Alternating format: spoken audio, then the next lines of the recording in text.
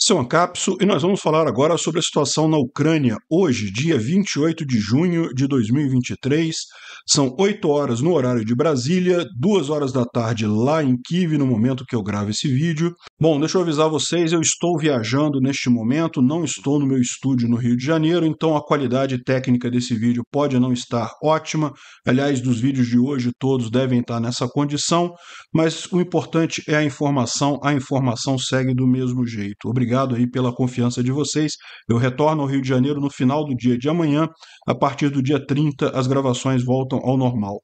E a principal notícia de hoje é o triste atentado russo que foi feito contra a cidade de Kramatorsk.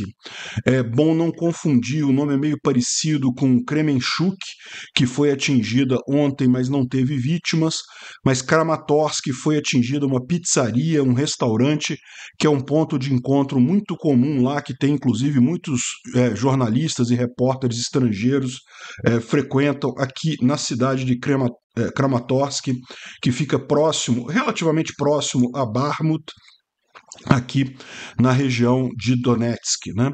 Então, uh, foram dois mísseis uh, calibre, que são mísseis precisos, então os russos queriam exatamente atingir este ponto de fato, e uh, até aqui o número de mortes são 10 pessoas. Muito triste essa situação, o que aconteceu ali em Kramatorsk. Né? Ontem, vocês lembram, a gente falou sobre Kremenchuk, que fez um ano que uh, houve um atentado lá num supermercado, num shopping center que também matou muita gente, e ontem teve outra tentativa de ataque também em Kremenchuk, mais uma vez tentativa de ataque em alvos civis, mas felizmente não teve vítimas por lá, né? Também temos hoje um número desproporcionalmente grande de alvos russos atingidos na retaguarda pela artilharia ucraniana. Né? Temos imagens aqui de Melitopol, de Berdiansk, de Alchevsk, de um monte de lugares aqui. De novo, parece que a artilharia ucraniana está funcionando muito bem na, na, na retaguarda russa para justamente diminuir os estoques de munição aqui. Né?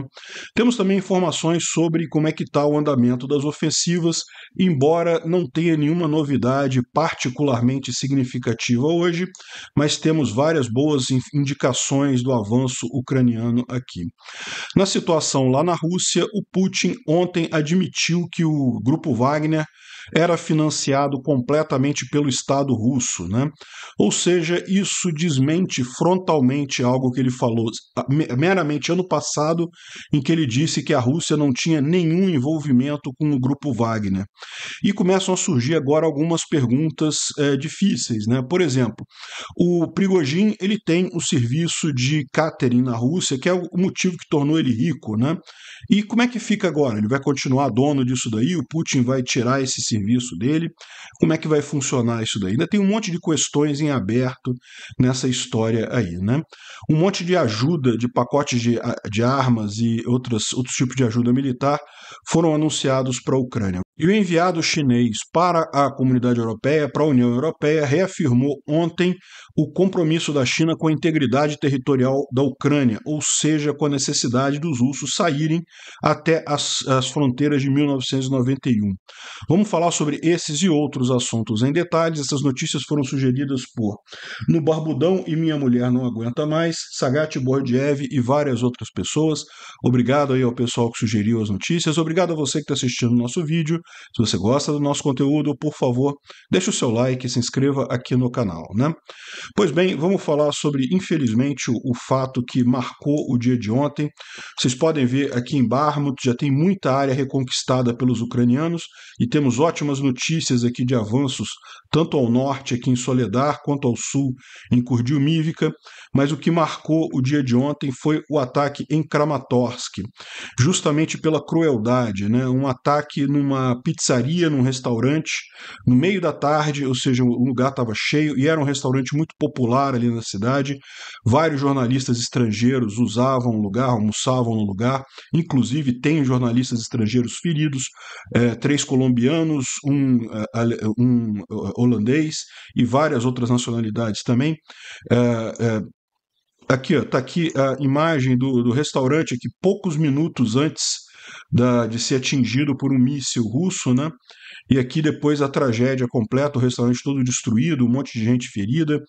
Tem uma série de, de filmes aqui que eu não posso mostrar, porque vocês sabem, porque o YouTube não gosta de corpos e coisa e tal, então é, é realmente muito triste. Esse, esse aqui é logo depois, sabendo dá para ver que é logo depois do míssil ter atingido, ainda tinha fumaça na região ainda. Enfim, aqui o resgate das pessoas durante a noite, então teve várias é, pessoas que foram tiradas. Ainda tem gente debaixo dos escombros aqui, sendo tirada debaixo dos escombros ali no lugar realmente uma situação muito complicada ali. E uh, o número de mortos nesse momento foi confirmado em 10, mas ainda tem gente debaixo dos escombros, ainda estão procurando ainda nesse momento, e 61 pessoas feridas. Né? Entre esses 10 mortos tem duas crianças. Né? Não, não Esse bebê aqui não, ele está vivo, ele só está ferido, uh, mas teve outras crianças que infelizmente acabaram vindo a falecer ali naquela região. Né?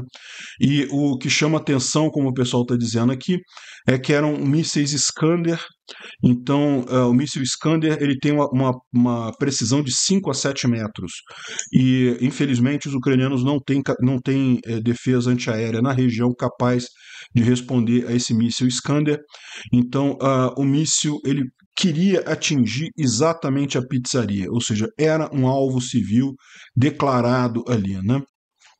Ou seja, queria principalmente matar jornalistas estrangeiros, correspondentes de guerra estrangeiros que usam o restaurante com muita frequência, acabou matando um monte de ucranianos.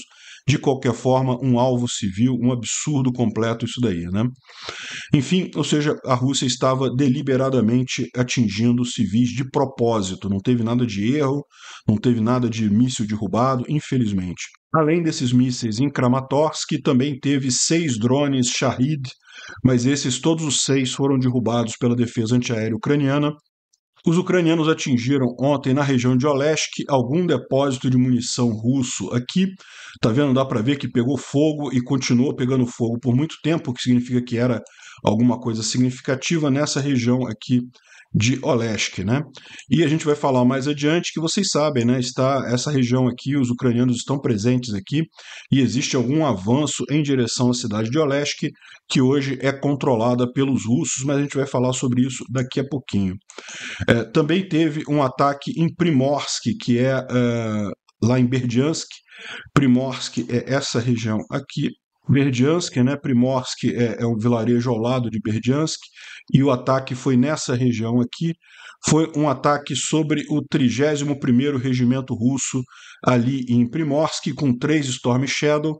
Tomara que tenha conseguido causar bastante danos ali nos russos que estão por lá, né?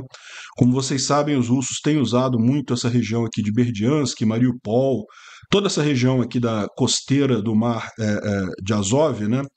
justamente porque até pouco tempo atrás os ucranianos não conseguiam atingir essa região, era maior do que a distância para o HIMARS. Né? Agora, como eles têm o Storm Shadow, virou festa e uh, uh, parece que foi atingido aqui essa, essa posição dos, do regimento russo lá em Primorsk. Né?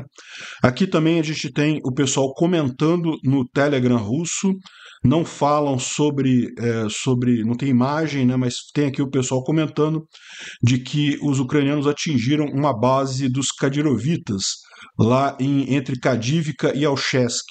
Kadivka e Alchesk ficam aqui, ó, próximos a Luhansk, né? Dá para ver também que é bem na retaguarda. Alchesk fica aqui, Kadivka fica aqui. E essa região aqui é notória por ter base dos Kadirovitas. Então, uh, o pessoal do Kadyrov, lá, a guarda chechena, tem várias bases aqui. Imagina se foi um desse, uma dessas bases que foi atingida, e segundo estão dizendo aqui, teve é, muitas, muitas mortes ali na região. Né? Isso aqui é Yazinuvata, na região de Donetsk, mais uma Bavovna aqui. Yazinuvata é nessa região aqui, ó, Donetsk e Yazinuvata. Essa cidadezinha aqui, próximo de Avdivka. Avdivka é uma cidade ainda dominada pelos ucranianos, né? Houve alguns avanços aqui, os ucranianos retomaram Vesely, estão é, lutando por Kamianka, né? E aqui em Optine também teve algumas batalhas. Por hora a coisa está mais ou menos parada aqui e os ucranianos atingiram aqui essa retaguarda russa em Azinuvata, né? Também durante a noite teve explosões em Tokmak, em Mikhailivka e Melitopol, né?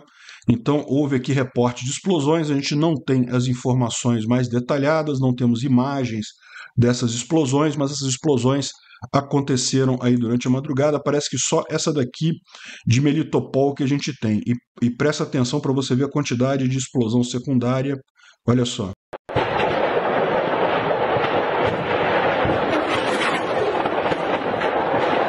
Dá para ver até um projétil saindo aqui, ou seja, dá para ver que foi um grande, uma grande base de munição, um grande armazém de munição na região ali que foi atingido nessa noite de ontem para hoje, né? Então, mais um bom trabalho aí da artilharia ucraniana na retaguarda. E como a gente falou, mesmo isso daqui não representa a totalidade dos ataques. Você vê quantos que a gente viu de ontem para hoje aqui. Isso indica que foi é, realmente muito grande a quantidade de ataques feitos pelos ucranianos na retaguarda russa. E, lógico, isso tudo é feito para apoiar a ofensiva ucraniana. E aqui o Max 23 dá uma, um overview de como é que está essa ofensiva de ontem para hoje. Em Barmut há avanços tanto na cidade em si, eh, os ucranianos retomaram várias, várias ruas dentro da cidade, muito embora a gente não veja isso ainda aqui no mapa, né? Se você olhar, Barmut ainda aparece totalmente é, é, tomada pelos russos, mas a gente sabe sim que os ucranianos já avançaram bastante coisa. A gente sabe que eles já estão aqui na região do, do MiG-17, aqui, a, a Praça do Avião, que é nesse cantinho aqui. Eles já retomaram várias, várias estradas aqui, várias ruas nessa região. E também é, nos flancos, particularmente em Klishivka. Né? E Klishivka, na verdade, o que teve de significativo é que aqui, ó, Kardiumivka já está como zona cinza. Os ucranianos já retomaram, estão tentando retomar Kurdiumivka. Né? Kurdiumivka foi atacada logo no início da ofensiva eh, dos, dos russos por Barmut. Então, os russos fizeram justamente uma pinça, né? começaram aqui pelo sul, em Kurdiumivka, e pelo norte, aqui em, em que é essa outra cidade aqui. E aqui também vocês podem ver, a gente já mostrou para vocês em outros mapas, né? os, os ucranianos já estão bem mais próximos aqui da cidade de Ankolivka provavelmente estão querendo usar a mesma estratégia dos russos, ou seja, tomar Yankolivka, de Yankolivka tomar Soledar, de Soledar é, cercar aqui é, é, Barmut. Né? E pelo sul a mesma coisa, Kurdiumivka, Andrivka, Klishivka, e daí também cercar é, é, Barmut pelo sul. Na região de Kherson, ele está dizendo que vai ficar divertido em breve, né? A gente vai ver que tem algumas informações circulando por aí. Uh, vamos ver isso em detalhe. Na região de Donetsk, que é ali em Velika Novosilka, apenas observe, né? Velika Novosilka é essa região aqui. Como vocês sabem, há poucos dias atrás os ucranianos retomaram Rivnopil e uh, uh, ainda existem brigas aqui na estrada com Staromayorsk.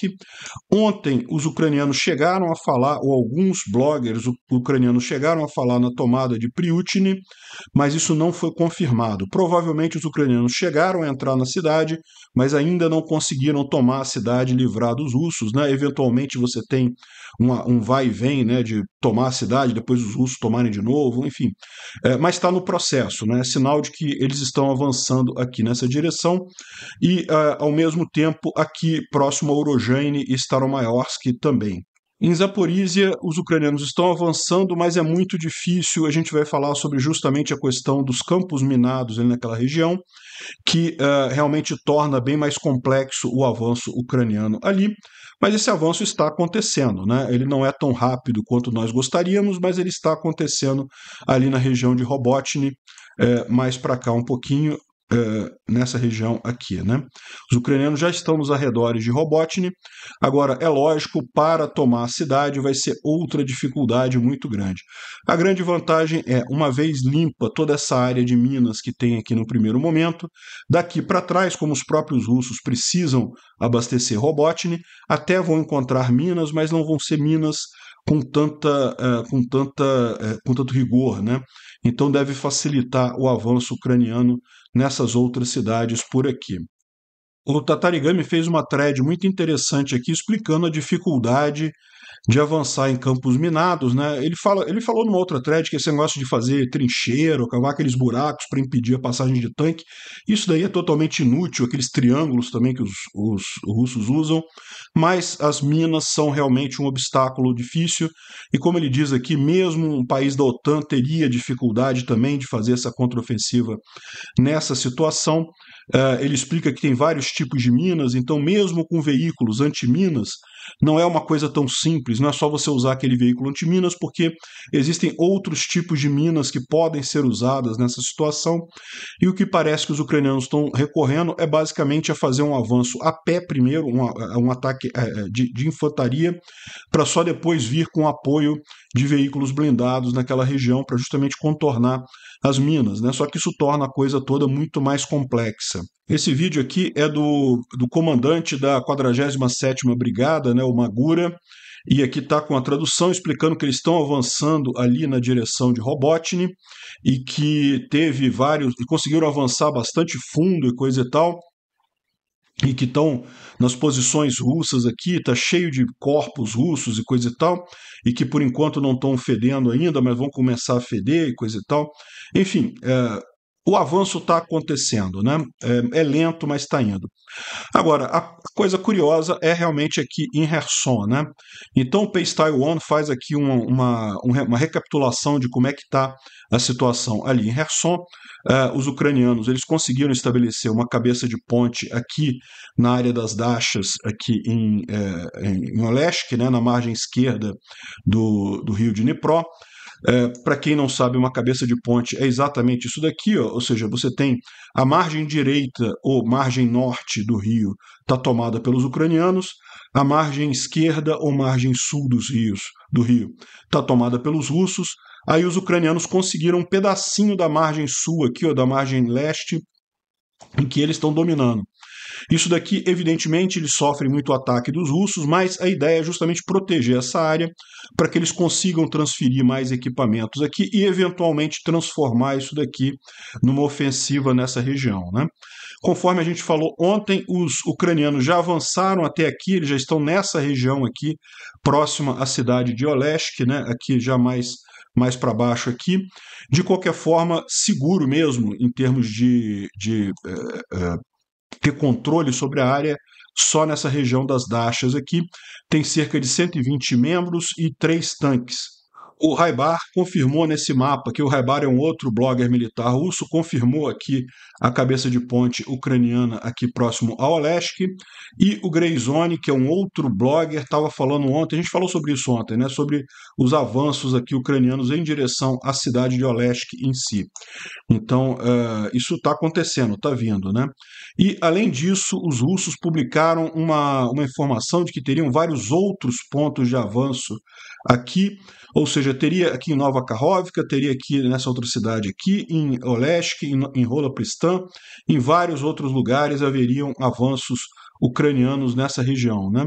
Então, eles estão acreditando que os ucranianos têm um plano de batalha para essa área, que inclui justamente fazer uma parte da contraofensiva por aqui. Né?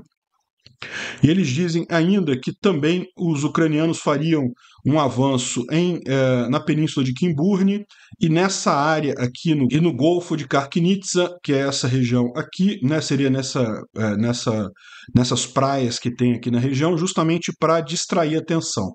Eles fariam essa, essa entrada em Kimburne e aqui, mas seria só para é, distrair a atenção, e o ataque principal seria nesses quatro vetores aqui, né? É, através de Nova Karhovka, é, é, aqui é Lvov, que é, é uma outra cidadezinha, não é a Lviv, é, lá do oeste da Ucrânia, é uma cidadezinha pequenininha aqui, também aqui em Olesk, que a gente sabe que já está acontecendo, e o outro aqui em Rola Pristan, que fica mais aqui ao sul. Né? A gente falou sobre isso ontem também, que também tem avanços ucranianos ali na região de Rola Pristan.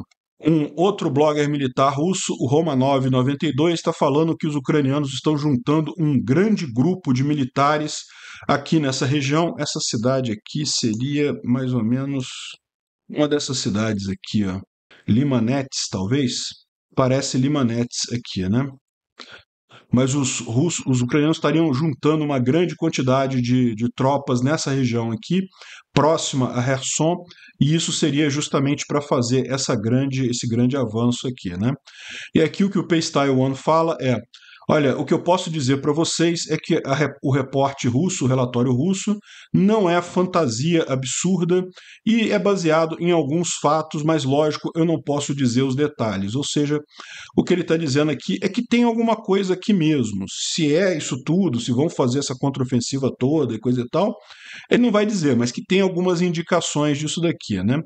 Lembrando que, lógico, tudo isso daqui pode ser uma provocação dos ucranianos para distrair a atenção aqui do fronte de Zaporizhia e, e, Donetsk, né? A gente não sabe, né? Mas sem dúvida alguma, um avanço aqui por Kherson seria capaz de rapidamente chegar aqui na Crimeia, e isso daí é um potencial enorme de encerrar o assunto rápido, né? porque no que os russos começarem a perder a Crimeia, a coisa realmente vai esquentar. E, uh, e, aquele negócio, né? os russos mantêm todo esse corredor de terra aqui com o propósito de abastecer a Crimeia. Se eles começam a perder a Crimeia, toda essa invasão deles aqui deixa de fazer sentido no final das contas. Imagina os ucranianos avançando aqui, fechando aqui essa entrada de Armiansk e é, na entrada aqui da Crimeia e ao mesmo tempo conseguindo um avanço aqui, fechando essa, essa ponte de terra aqui para as regiões ocupadas, você vai ter uma enorme quantidade de tropas russas nessa região aqui, totalmente cercadas. Né?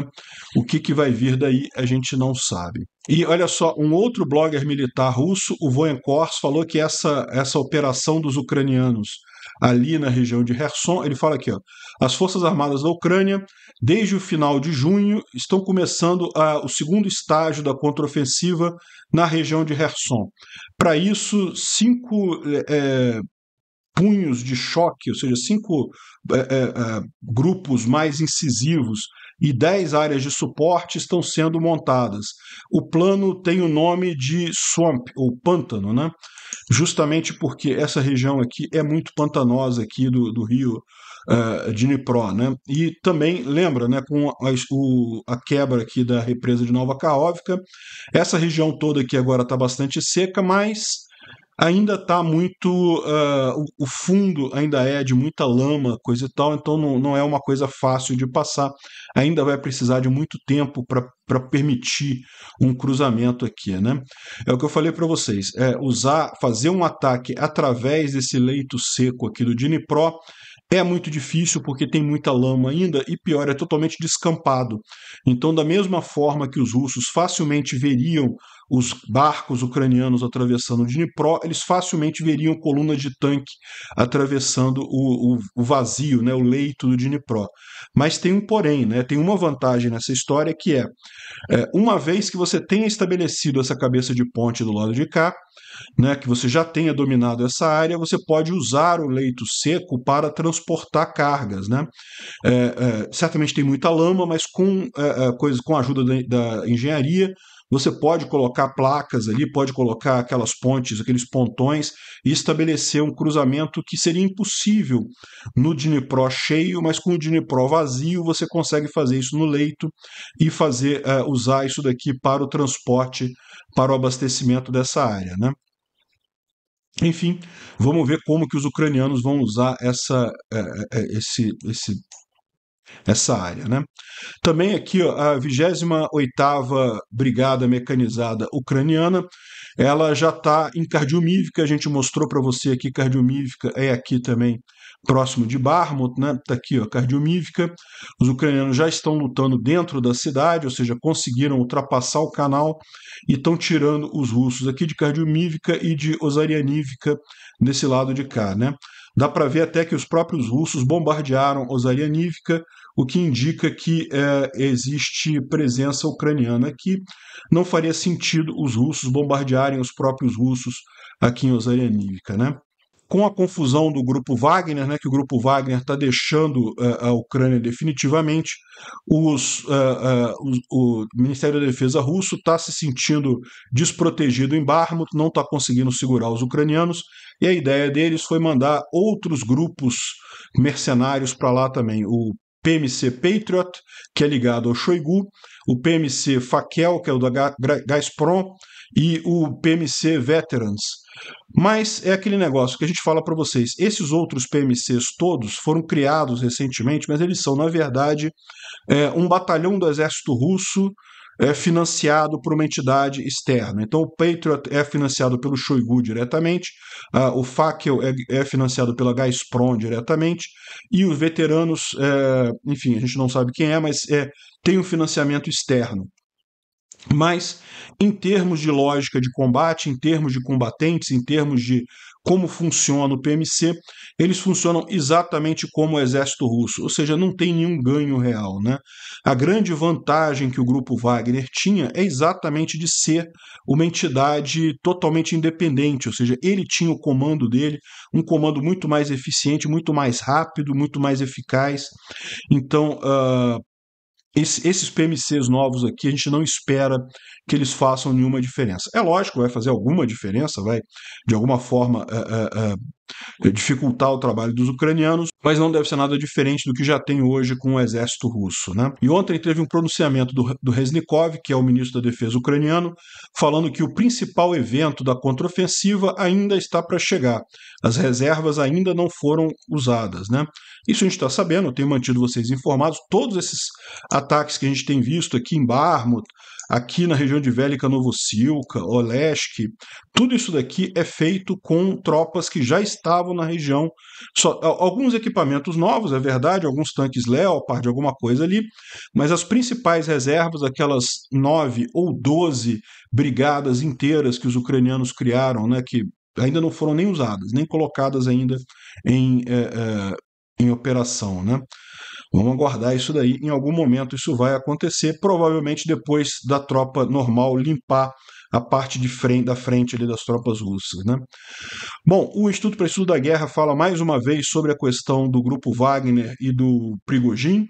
É, não tem nenhuma grande novidade aqui em relação ao que a gente falou ontem, né? E a gente vai falar sobre isso hoje também, então não vale a pena muito falar isso daqui, mas o fato é: tudo que, que é, indica que essa situação ainda tem muita coisa para ser resolvida ainda. Né? Ontem o Lukashenko falou de novo, dizendo que o grupo Wagner vai de fato ser baseado em Belarus e que vai treinar o exército de Belarus. Né?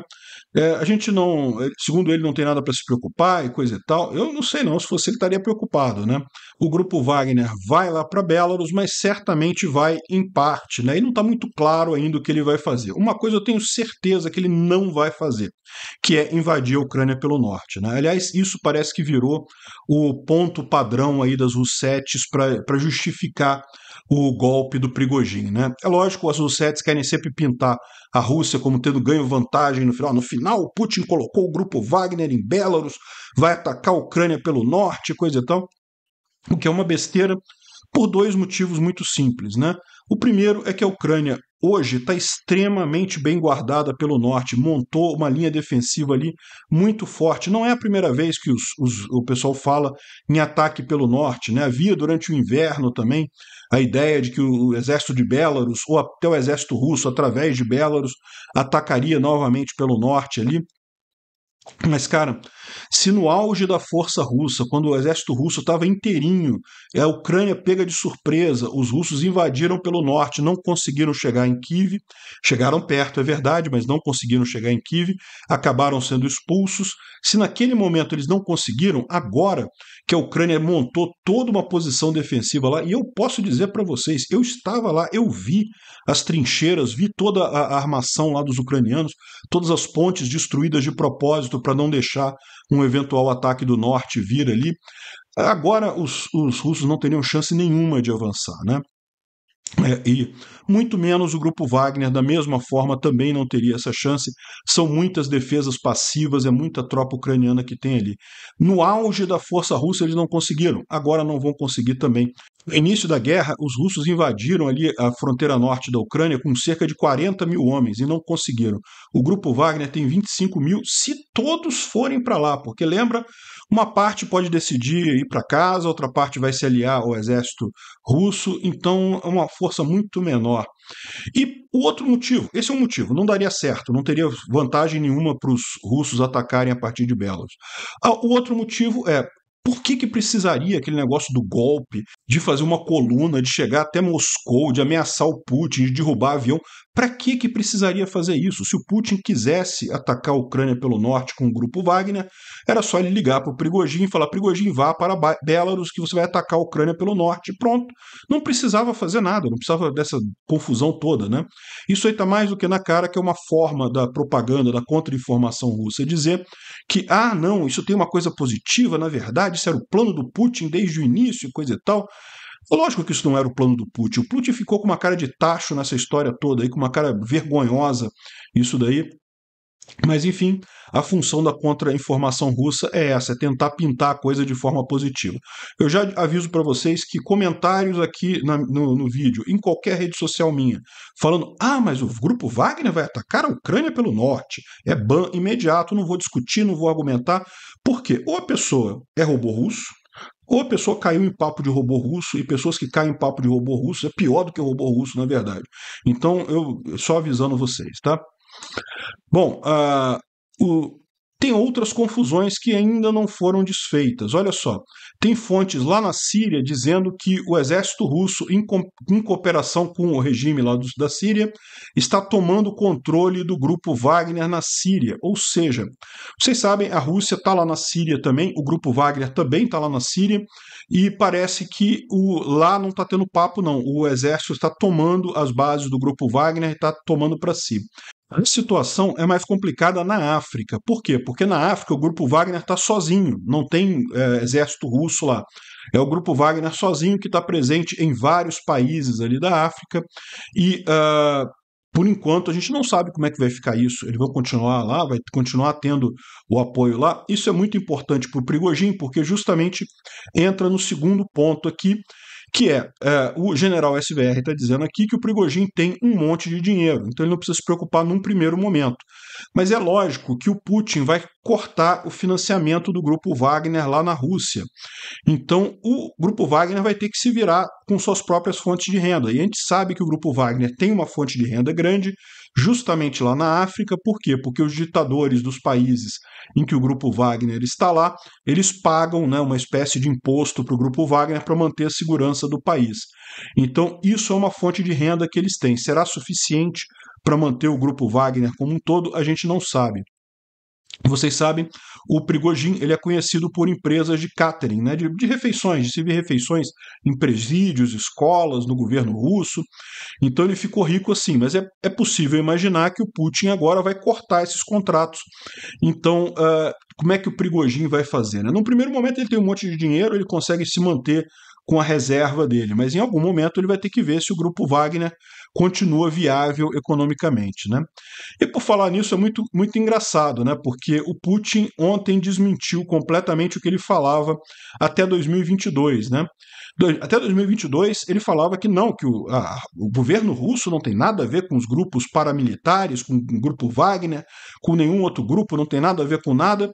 E agora ele já mudou a história completamente dizendo que não, olha só, o grupo Wagner era 100% financiado pelo governo russo, né? Que coisa, né? Máscara caiu aqui com muita força, mesmo hipocrisia do Putin nesse caso também, né?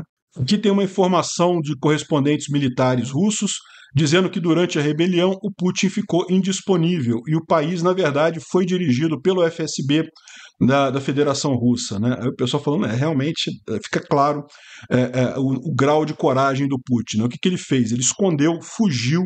E olha só, se o Prigogine tivesse coragem e fosse adiante, o Putin não voltava, não. Outra coisa curiosa foi a Activision, que pediu desculpas formalmente Olha, nós gostaríamos de formalmente pedir desculpas por usar a Rússia como nosso antagonista na série Call of Duty. E é, agora que nós sabemos a verdade, a gente teria usado um, um oponente mais significativo, mais competente militarmente, como Cuba ou Laos. Caramba, hein? Que alfinetada na Rússia. Bom, aqui tem informação de que hackers ucranianos invadiram uma conferência das linhas, linhas é, de trem russas, né? E onde eles estavam discutindo uh, o transporte de, de produtos dentro dos territórios ocupados ucranianos. E no final, os ucranianos falaram alô para o pessoal e coisa e tal, dando, dando a entender que estavam que estavam com todos os dados agora. Eu, eu, não sei se eles fizeram isso mesmo, se eles falar, falaram alô no final, é, é uma besteira, né? Jogaram fora toda a informação, porque evidentemente o pessoal agora vai fazer outra reunião e vai mudar todos os planos, né? Eu espero que essa parte do alô no final tenha sido só uma piadinha que não tenha é, não tenham feito isso de verdade. Invadiram a, a, conferência, excelente, pegaram as informações todas, sai da conferência e encerra o assunto. Né? A Dinamarca está acelerando a aposentadoria de F-16, provavelmente para mandar para a Ucrânia. Excelente notícia. E a Lituânia também está é, comprando dois lançadores dos Nazans que devem encaminhar para a Ucrânia também. Excelente isso. E outra informação interessante que a gente teve é que o senador Jim Risch, lá dos republicanos, é, ele está batalhando para permitir que o governo americano envie o ATACMS, e ele disse que acha que a possibilidade do ATACMS chegar na Ucrânia é muito alta. Excelente notícia, vamos torcer para ser verdadeiro isso daí, né? E finalmente o Fu Kong, que é o enviado chinês para a comunidade europeia, ele falou que sim, que Beijing respeita a integridade territorial de todos os países, inclusive da Ucrânia, inclusive a integridade territorial é, das fronteiras de 1991, que inclui a Crimeia, né?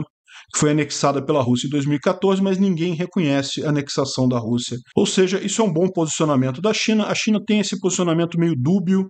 Eles não criticam diretamente a Rússia, mas eles falam que respeitam a integridade territorial da Ucrânia, de qualquer forma, é um bom sinal. Né? E finalmente, lembrar a vocês que a nossa vaquinha está chegando ao fim. É três dias que faltam. Hoje, dia 28, amanhã, dia 29 e depois, dia 30. Então, se você não contribuiu ainda, quiser contribuir, o link está na descrição aqui do vídeo. Tem um vídeo também explicando como comprar o Bitcoin para poder é, contribuir aqui com, com a vaquinha.